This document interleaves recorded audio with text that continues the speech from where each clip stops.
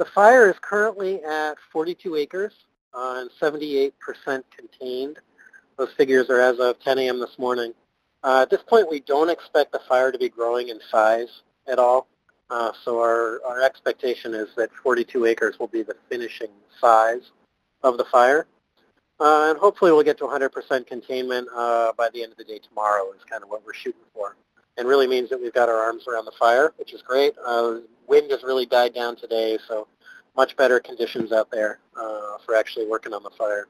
The cause of the fire is under active investigation, um, but there no determinations have been made at this time. The uh, area where the fire started in that large, large log pile, um, that fire is still very much burning. Um, there's smoke coming off of that pile uh, it's going to be a, a, fair amount of time before that fire gets extinguished, and you know maybe something that we're kind of wrestling with long term uh, into the summer, just trying to make sure that everything is good and out there. It's an enormous amount of wood.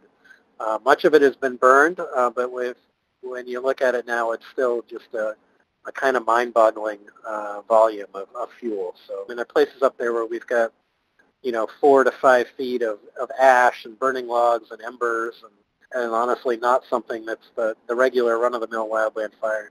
So what we're asking is that people who are traveling through the, the area or who are in the area just recognize that they're going to see smoke and some minor signs of fire. Uh, no, no cause for alarm. Everything's well in control up there.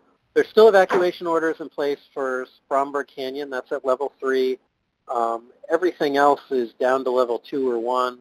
Um, I think there's still there are still roadblocks in place, uh, so they're limiting traffic through um, through Chumstick to uh, to people who are residents or have legitimate business up there.